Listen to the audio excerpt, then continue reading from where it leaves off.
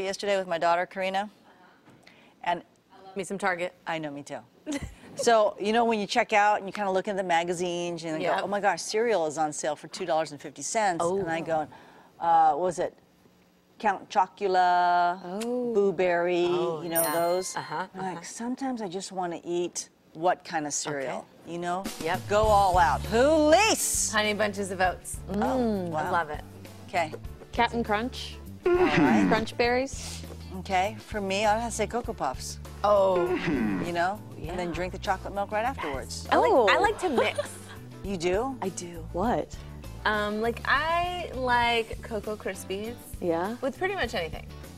Oh, 'Cause that's- like with grape nuts and stuff? oh no, I wouldn't even eat grape nuts. That's like a McClary or a Courtney. Oh, that's cereal. pretty. Or Bethany or me. You healthy people.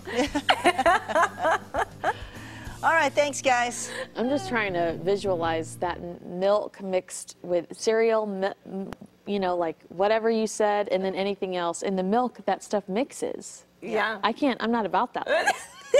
My body's rejecting it, Tina. You I'm sorry. You need one I'll- of those plates. You need like my kids. All they right. have the plates that have Yeah. the different little right. areas. yeah, exactly. Got it. All right. Okay.